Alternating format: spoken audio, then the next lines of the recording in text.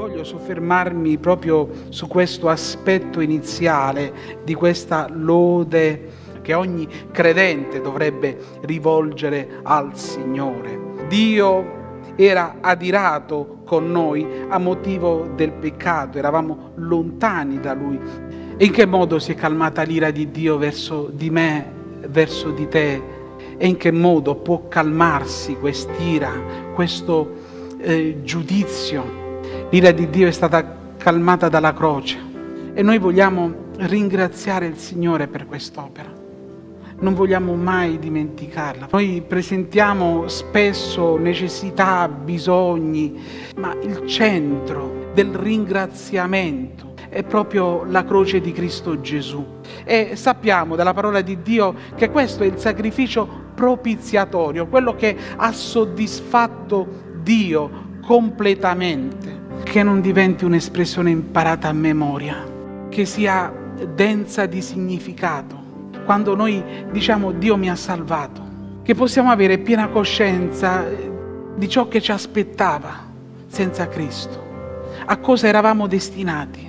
Senza la croce di Cristo non c'era nessun bene per noi, ma ringraziato sia il Signore, perché Dio è la mia salvezza e nessuno può togliere quello che Dio ha fatto per me. Quel sangue è ancora davanti al Padre nell'alto dei cieli e parla di grazia, parla di perdono, perché Gesù rimane per noi il nostro perfetto sommo sacerdote e lo sarà in eterno, fratelli e sorelle. Voglio concludere questo messaggio.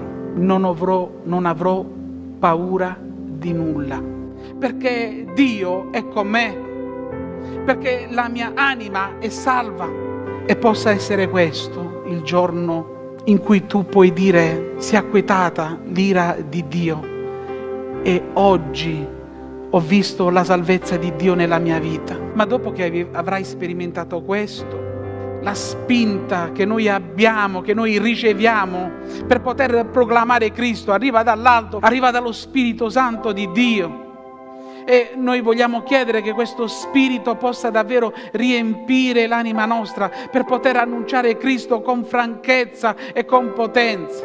Non vogliamo trattenerci perché il mondo ha bisogno di fare un incontro con Cristo Gesù.